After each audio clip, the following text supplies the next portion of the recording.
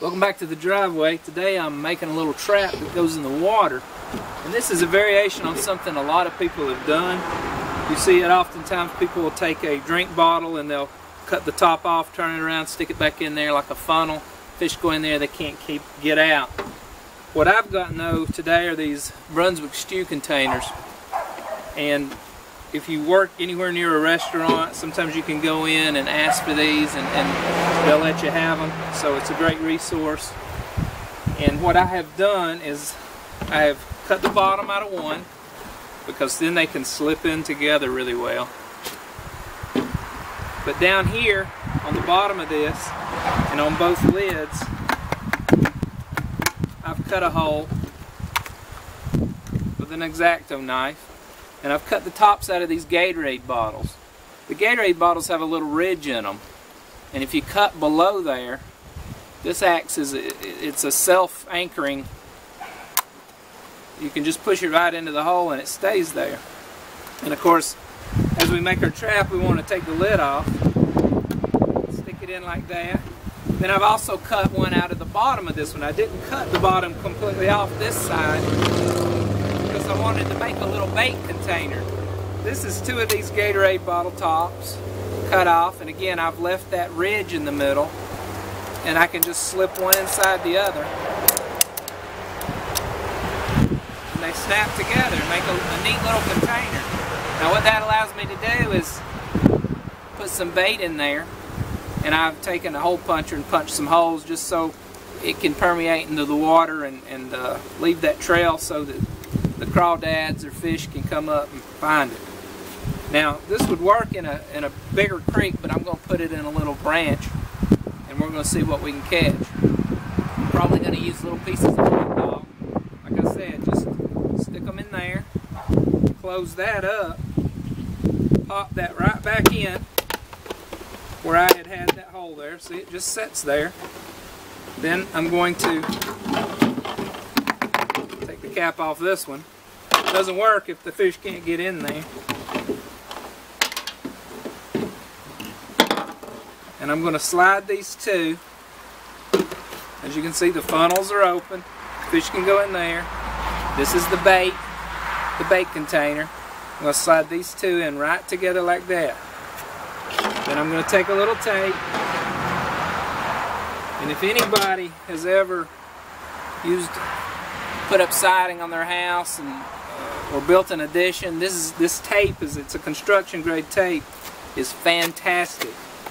I've got a friend that turned me on to this. You can even patch jeans, holes in jeans with this and wash them.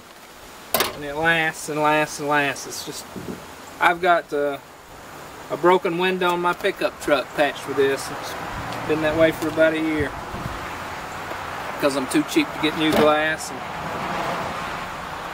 It don't hurt me to drive around like that. Nobody makes fun of me that I know of. I can't hear them. I'm driving.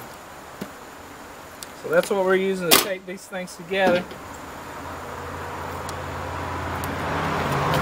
Other containers, like this one, this is another trap I made, because they have these ribs in them, when you cut, you can cut both bottoms out of these and they'll just pop right together. And it's almost impossible to get them back apart. So here we have the same setup, but this is a uh, banana ring container. But you, as you can see, you've got the Gatorade top shoved in there in a hole in the lid. You can access your trapped animals or throw bait in there. Close it back up. We're going to lay this in the bottom of a branch, make sure it's at least halfway submerged so that the water's flowing into the funnel, above it preferably. Then we're going to pile some rocks over. Now we got our trap set in the water. We got a couple of big flat rocks on it.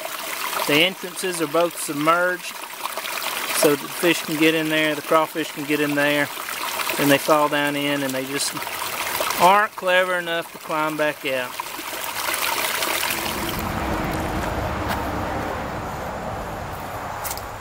Welcome to the driveway. This is part two of my crawfish trap I made out of these Brunswick stew containers. Just pulled it out of the creek and I think we did okay. Sometimes there's a snake though, so just be careful. one time I opened one up and there was a snake. So I say sometimes, I mean one time, but it, it scared me good enough. Oh yeah, oh yeah. Remember we just put a Gatorade top and pushed it inside the, the lid of this. See how it just pops in? And that creates the funnel on both sides. So we got to check both sides of this trap. Let's see what we got though. There's one, two, three. Oh my goodness, four, five. Let's see. I'm gonna eat these later, so I don't want them to get away. we did good today, y'all. Okay, one, two, three, four, five. Ah, mud bugs. Make sure there's no more on this side.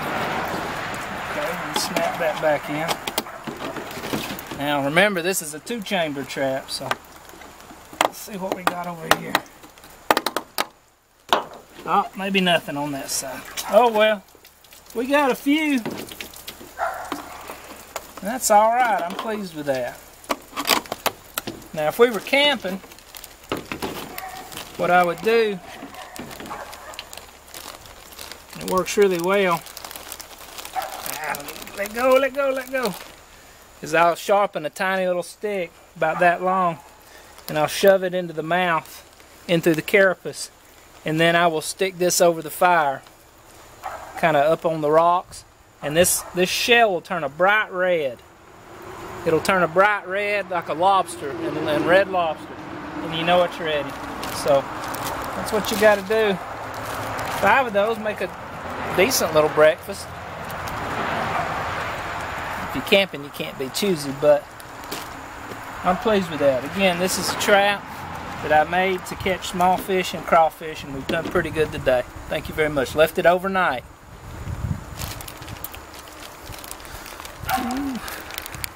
And there they are, the little critters.